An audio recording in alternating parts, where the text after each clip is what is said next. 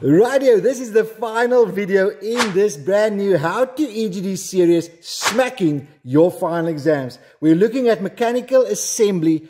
It is 50% of your paper two. It is a critical part of that paper and you need to spend time.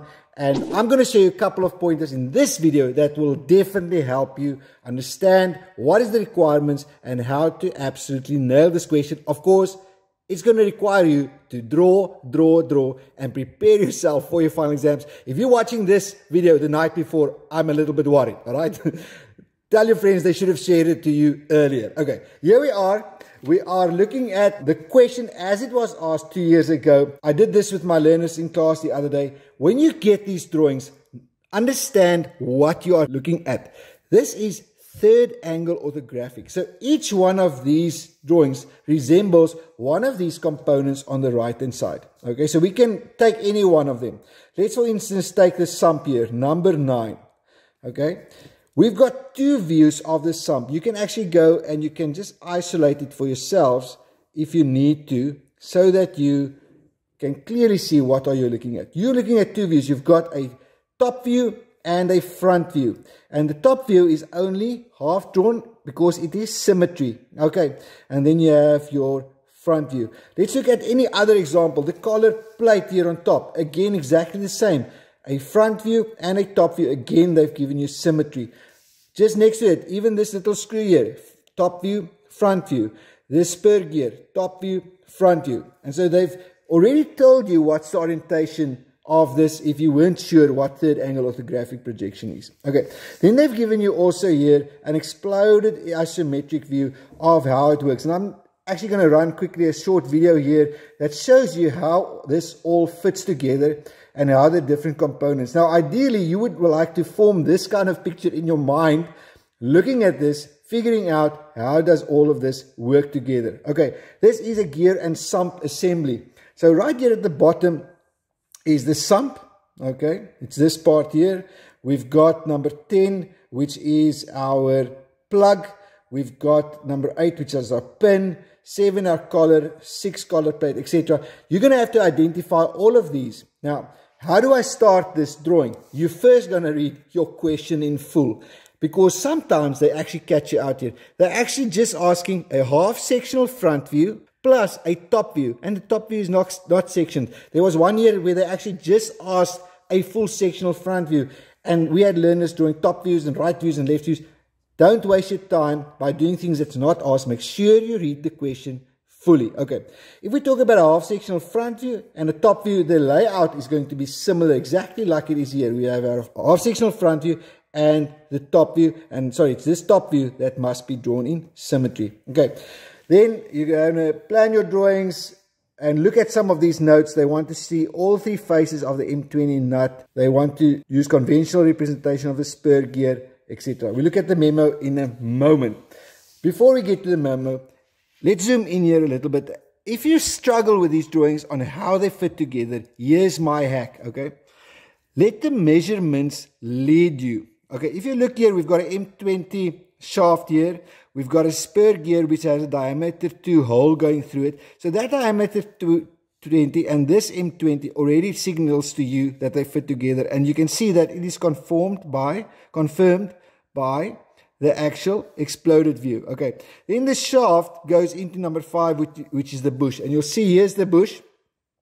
Okay, and the inner diameter here is diameter 42 and its outer diameter here is also diameter 42. Another thing that is quite interesting here is if you look at the order of this, exactly how they started it here. They've got the nut, then the washer, then you've got your spur gear, there it goes. Then you go into the shaft, you see the order, the bush is next. Then we're going to have um, our screws then again on top. We have our collar plate. So you can see there's almost that they're leading you with the eye similarly to how they're doing it. So those are two things. Look at the layout and then the measurements that, that lead you to understand where everything fits together. Let's look at the actual answer. Again, what did they give marks for? So I've really zoomed this out. There's the two views. You've got your sectional or symmetry, your symmetrical top view here.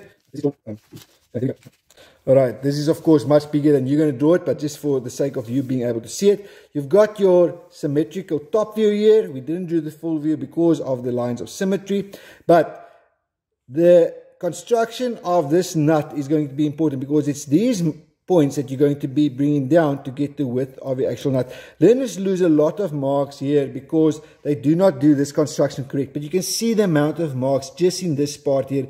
There is a video on the How to EGD channel, how to draw your bolts and nuts. Have a look at that if you're unsure. But they get this construction right. Okay. Then you have your uh, half section coming down here. Make sure that this center line is not a solid line. Okay. If you were taught that way, it's incorrect. It is not a solid line. It's a half section and therefore you have a center line going through.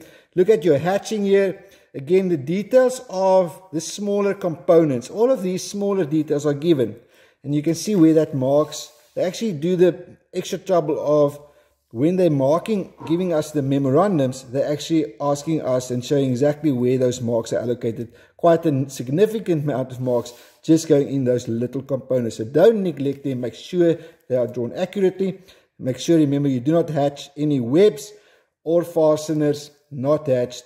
Um, all right, hatching correctly done. And then if there's any labels, you need to add them. Let's look at the year after that. Okay, this was last year's actual video. And you can see a lot of similarities here again. It's, you've got the exploded view, you've got the order in which they are put together.